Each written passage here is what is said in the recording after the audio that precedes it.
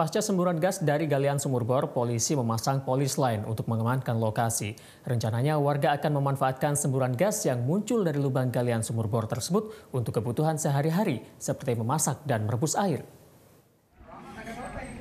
Lubang galian sumur bor milik Abdul Kholik di Desa Gumawang, Kecamatan Wiradesa, Kabupaten Pekalongan, hingga selasa siang masih menyemburkan gas dan belum ada tanda-tanda intensitas semburan gas berkurang.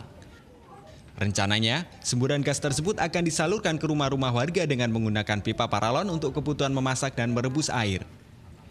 Warga yang masih penasaran mencoba semburan gas tersebut dengan menyulutkan api dan digunakan untuk membakar ubi. Warga akan memanfaatkannya karena semburan gas tersebut bisa dijadikan pengganti tabung gas yang rawan meledak akibat bocor.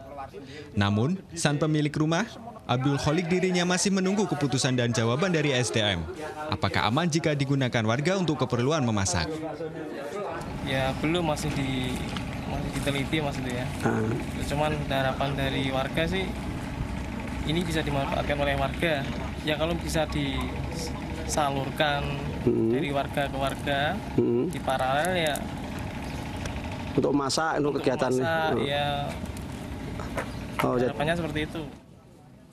Petugas dari SDM Provinsi Jawa Tengah yang sempat meninjau lokasi belum melakukan pengujian terhadap semburan gas tersebut. Pihak SDM masih menunggu peralatannya akan dikirim dari Semarang.